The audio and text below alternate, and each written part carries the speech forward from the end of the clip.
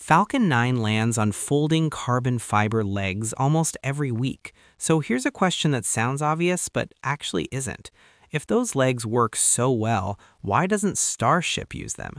Why did SpaceX abandon one of the most successful landing systems in rocket history for its next generation vehicle? Because the moment you try to scale Falcon 9 style legs up to Starship, the physics stop cooperating. Falcon 9 lands light, narrow, and low. At touchdown, it weighs about 25 to 30 tons, lands on a single engine, and has a low center of mass.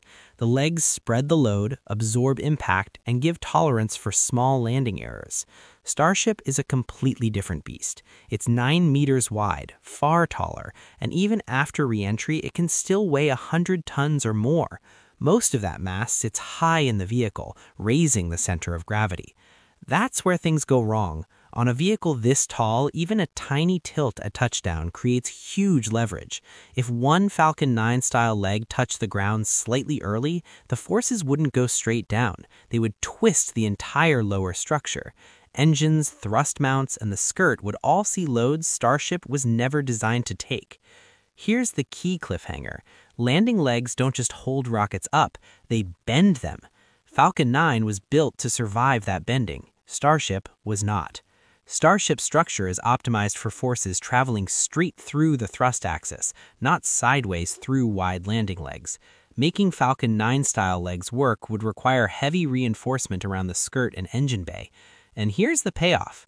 Falcon 9's legs weigh about 2 tons on a much smaller rocket. Scaled up to Starship, the legs and reinforcements would likely add 10 tons or more of dead weight. That's mass carried to orbit every flight, used for only a few seconds at landing. And Starship isn't meant to land occasionally, it's meant to fly often. Inspecting massive folding legs after every flight would slow reuse dramatically, so SpaceX chose precision over tolerance. Starship is designed to land straight down on thrust, keeping forces aligned with its strongest direction. On Earth, that makes landing legs unnecessary and opens the door to tower-based capture. Less mass, less stress, faster turnaround. So Falcon 9's landing legs weren't abandoned because they failed, they were abandoned because Starship outgrew them.